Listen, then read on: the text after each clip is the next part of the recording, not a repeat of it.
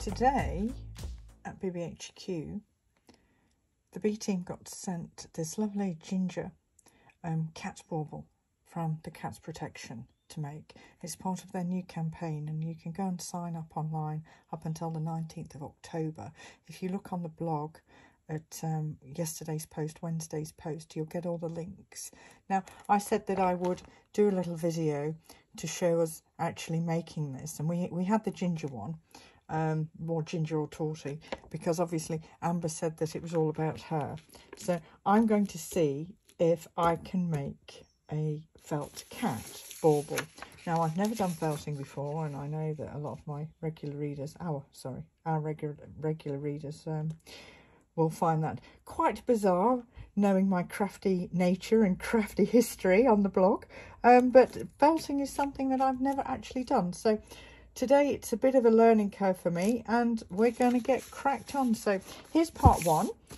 Um, let me just show you what I got in the box. We got lots of lots of wool and things and lovely little chocolate. Um, uh, yeah, here. So this is what we're going to make a, a, an amber out of. So apparently, um, I have to take this pipe cleaner first and I have to get some of this wool and I have to pull a little bit of this wool apart. So it's like I'm, I'm following this step here right now. So let's see what how, how we can do this. And I have to wrap it around the pipe cleaner.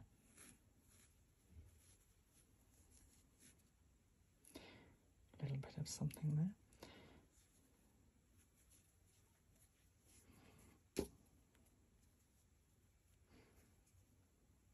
Mm.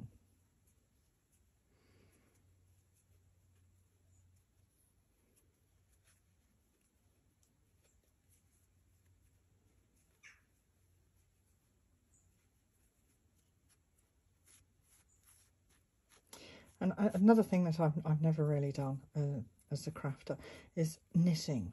Now, I don't know why, but I've never been able to knit. I did buy myself some needles a couple of years ago and I did actually do a few rows, but that's about as much of uh, woolcraft, let's call it woolcraft, that I've ever actually participated in. I'm, I'm a sewer by by nature or by choice or whatever. I taught myself to sew when I was about four years old on my grandmother's old manual Singer sewing machine.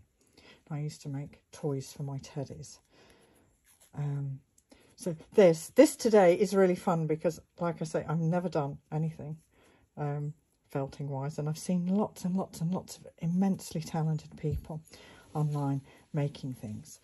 And I've always been really curious. So let's see how I do. Right, okay, so we've got this now, how it, sort of how it should be. So then it says, close the pipe cleaner into a loop by twisting the exposed ends around each other. Okay, okay, so maybe I should have left a little bit there. See, it's just like, um, let's just see.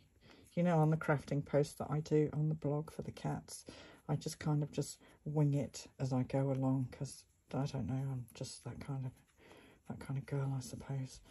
And I just kind of make things up as I go along, and everything usually seems to work out. So I'm not going to get too um, too stressed.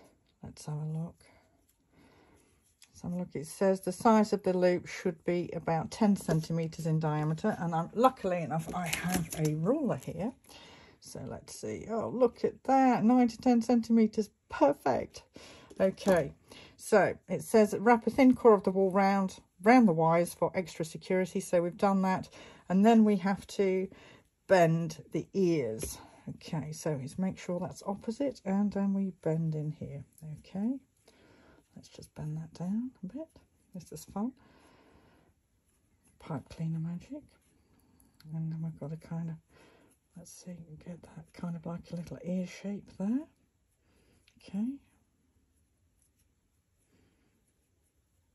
Okay, so a bit more pointy, bit of shape there. Okay, so that is pretty much, I would say, that piece. So that's taken me five minutes. So I'm just going to end this video here and then I will do part two momentarily.